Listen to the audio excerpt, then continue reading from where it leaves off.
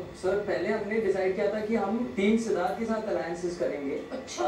हाँ because sir क्या हो मैं तू भी था उधर यार। गोवा के साथ। हाँ गौहर। सर गौहर ने ये बोला था कि निकी क्योंकि निकी मेरी बहुत क्लोज फ्रेंड है गौहर ने मुझे ये सजेस्ट किया कि अगर हो सके तो आप निकी से बात कर लो क्योंकि वो आपकी बात मानती है तो अलायंस अगर हो सके पहले तो सिद्धार्थ की टीम के साथ करे। हाँ या तो सर बट मैं गया भी था बट वहाँ पे सर निकी पवित्रा एंड एजाज भाई तीनों सिद्धार्थ के साथ खड़े होकर डिस्कशन कर रहे थे। तो उसके बाद हम आए वापस और फिर देखा गौर ने बोला कि like we should go ahead with Hina. तो चॉइस क्या था? इसके अलावा कोई चॉइस था और नहीं सर ऑफ़ कोर्स नहीं।